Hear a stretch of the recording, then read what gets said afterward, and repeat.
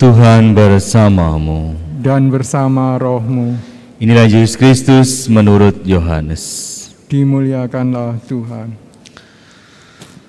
Pada suatu hari Yesus berkata kepada orang-orang Farisi, Akulah gembala yang baik. Gembala yang baik memberikan nyawanya bagi domba-dombanya. Sedangkan seorang upahan yang bukan gembala dan yang bukan pemilik domba-domba itu sendiri, ketika melihat serigala datang meninggalkan domba-domba itu lalu lari. Sehingga serigala itu menerkam dan mencerai beraikan domba-domba itu. Ia lari karena ia seorang upahan dan tidak memperhatikan domba-domba itu. Akulah gembala yang baik. Aku mengenal domba-dombaku dan domba-dombaku mengenal aku sama seperti Bapa mengenal aku dan aku mengenal Bapa. Dan aku memberikan nyawaku bagi domba-dombaku. Ada lagi padaku domba-domba yang lain yang bukan dari kandang ini. Domba-domba itu harus kutuntun juga. Mereka akan mendengarkan suaraku dan mereka akan menjadi satu kawanan dengan satu gembala. Bapa mengasihi aku oleh karena aku memberikan nyawaku untuk menerimanya kembali. Tidak seorang pun mengambilnya daripada aku, melainkan aku memberikannya menurut kehendakku sendiri. Aku berkuasa memberikannya dan berkuasa mengambilnya kembali. Inilah tugas yang kuterima dari Bapakku. Demikianlah Injil Tuhan. Terpujilah Kristus.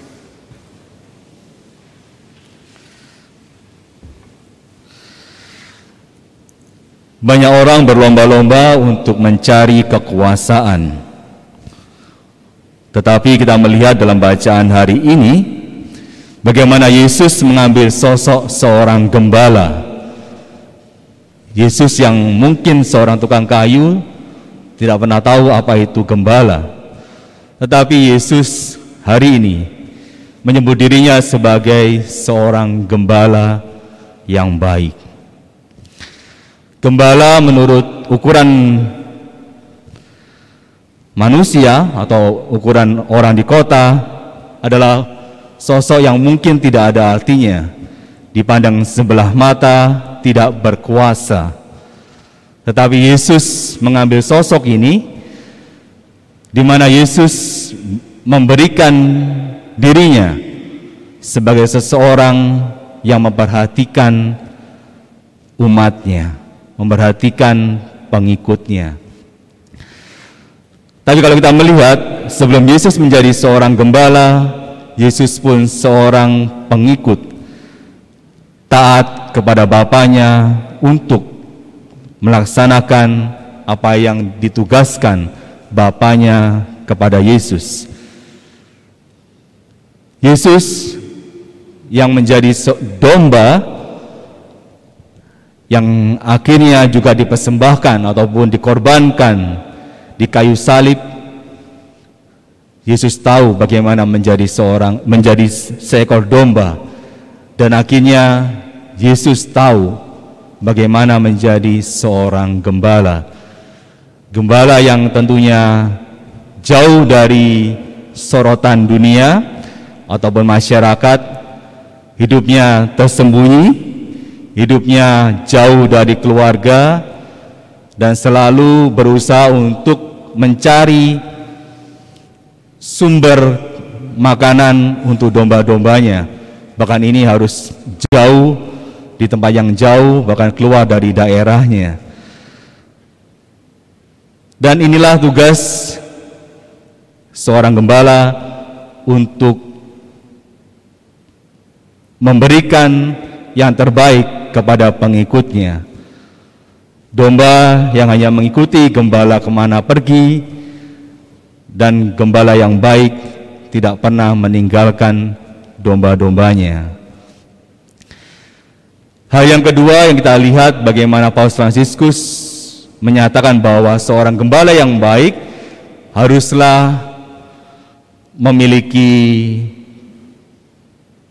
bau yang sama dengan dombanya, smelling like sheep. Dan kalau kita melihat, memang pada akhirnya seorang gembala harus hidup dengan domba-dombanya. Tetapi lebih daripada itu, seorang gembala mempunyai peran yang lebih utama dalam memperhatikan kesejahteraan domba-dombanya.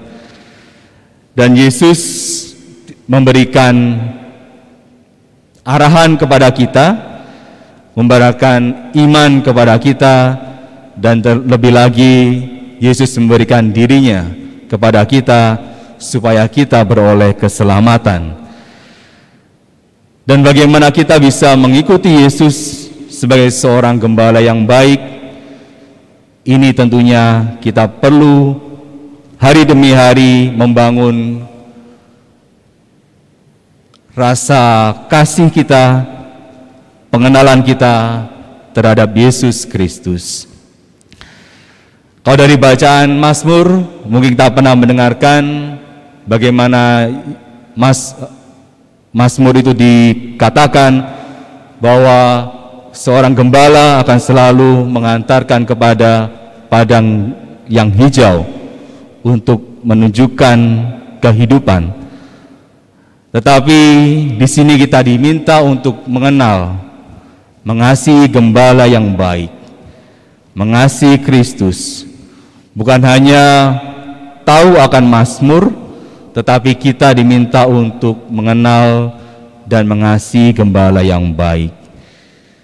Pada hari ini gereja juga merayakan hari Minggu Panggilan, di mana gereja memohon, gereja juga meminta memanggil anak-anak muda untuk menjadi pengikut Kristus, untuk melayani gereja dan umatnya. Dan tentunya panggilan ini datang dari seruan atau bisikan dari seorang gembala. Gembala yang baik yang memanggil setiap orang, memanggil anak-anak muda untuk melayani. Bila mereka bisa berjumpa, bila mereka bisa menemukan gembala yang baik, tentunya mereka akan memberikan dirinya juga untuk mengikuti sang gembala itu. Semoga dalam masa Paskah ini kita dibentuk hari demi hari untuk membangun, untuk menumbuhkan pengenalan diri kita, rasa kasih kita kepada gembala yang baik, dan bagaimana kehidupan kita diubah, dibentuk oleh Tuhan sendiri, sehingga kita juga dipanggil untuk menjadi gembala-gembala di dalam keluarga kita, dalam gereja kita, dan masyarakat kita. Dan semoga kita juga berdoa untuk anak-anak muda, di mana pun mereka berada, semoga mereka juga tersentuh, mereka juga merasa terpanggil oleh gembala yang baik, yakni Kristus sendiri yang memanggil mereka secara khusus dalam pelayanannya untuk menggembalakan umat dan gereja.